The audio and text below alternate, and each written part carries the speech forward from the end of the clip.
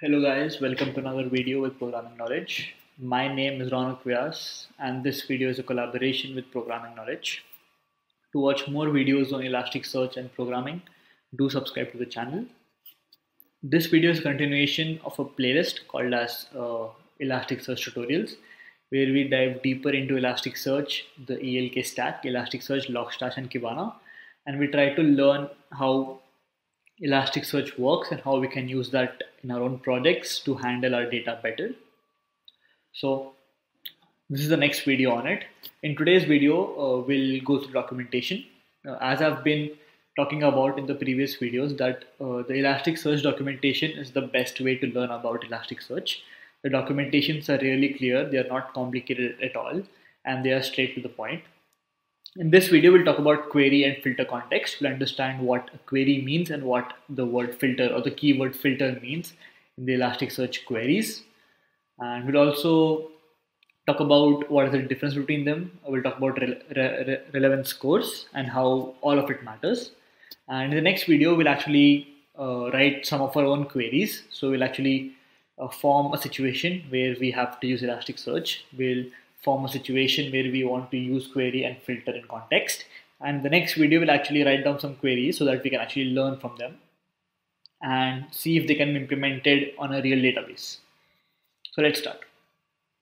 So uh, before we jump on to this, uh, let's just make sure that we have Elasticsearch running and Kibana running. So let me just go and do that right now.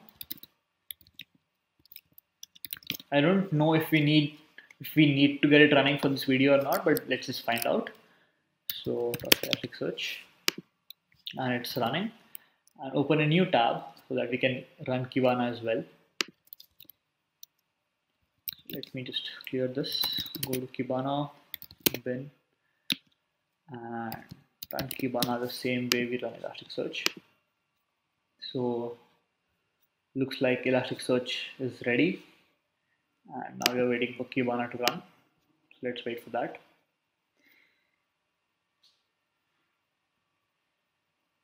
And yeah, so Elasticsearch is running right now at 9300 port and the cluster indices have been recovered from red to yellow, so we're good to go.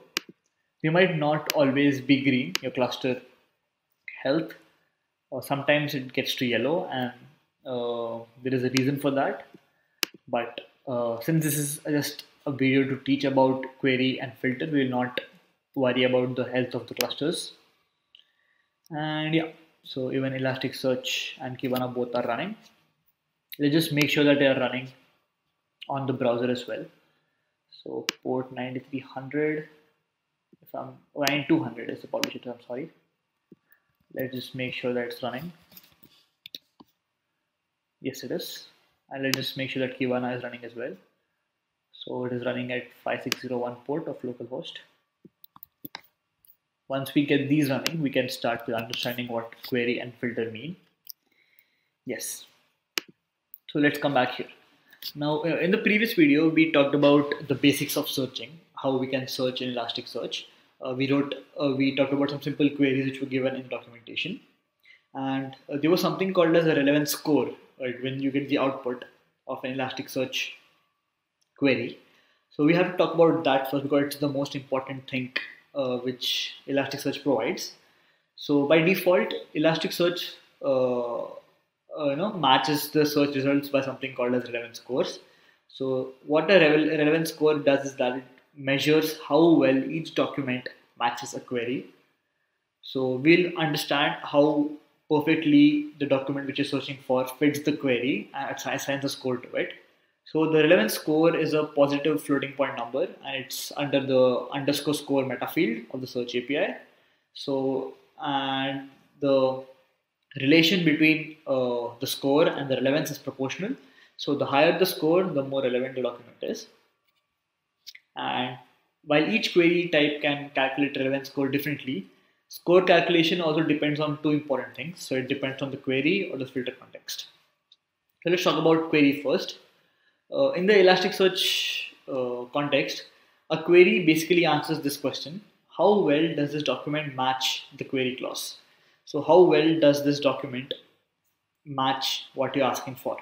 So if I if I have a query which says that try to find all the documents which match the word uh, Python. So and if I have a database full of Python notebooks or Python uh, teaching books, then it will match all the books which have the clause Python in it.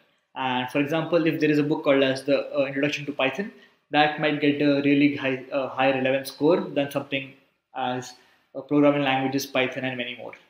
So, how you phrase your query is going to define the relevance score and give a relevance score to it based on the query which you write. So that is something uh, what query means. Let's go to the filter context now. So filter is basically, as the name suggests, a filter for yes or no. So it just checks whether the document matches the query clause or not. So unlike uh, query, uh, the query context, it does not uh, care about how relevant it is. It just cares whether it matches document or not. So you can think of the query context as linear regression, where you have continuous variables, and you can think about filter context as a logistic regression problem, where you have different classes, and you just don't have continuous variables but discrete variables here. So it's either yes or no, a binary classification, and here you can get continuous results based on the relevant score you have. So basically, uh, just to understand how filter context means with an example, uh, we talked about uh, using uh, having a query which matches the document which have the word Python in it. Now I only want the books of Python which are between 2015 and 2016. So I'll have a filter where I will want the query to only search for books which are greater than or equal to 2015 and less than and equal to 2016. So if uh, so how it works is that Elasticsearch behind the scenes will go through all your documents. It will check for the range and if the range is under uh, if the range is correct for the document then it is yes the answer is yes and the docu document is shown to you if it's no then it's not shown to you so it answers a simple question which is does this document match the query clause or not so frequently uh, filters will be cached automatically. So this is how it works behind the scenes and your uh, performance will be very fast. Then let's see an example of how filter and query work. So we have a very nice example here given by Elasticsearch directly. So we are going to search, use the search API. We have a query, indicates query context then we have a bool. Bool is basically having multiple queries inside one single query. So if you want to have multiple things uh, to be extracted from the documents, you use bool. We talked about this in the previous video. Next, uh, must match. So the query must match the title search. It must match the content Elasticsearch. So what it means is that until now, find all the documents which match the title as search and it matches the content as Elasticsearch. Next, let's filter. Let's filter the term as status is published. So it will only put uh, get the documents which have the title search, content Elasticsearch, and they are published, and they have a range. So if it's published after 2015. So what this query here is doing is that it's using both query and filter in its context and giving us back uh, the data where uh, the document title matches search the document content matches Elasticsearch, uh, it is published and the published date is greater than 2015. So this is how uh, we can use complicated queries and simplify them and use them using Elasticsearch. And in the next video, we'll actually write our own situations where we have to use some query and filters to understand how these work better. Thank you.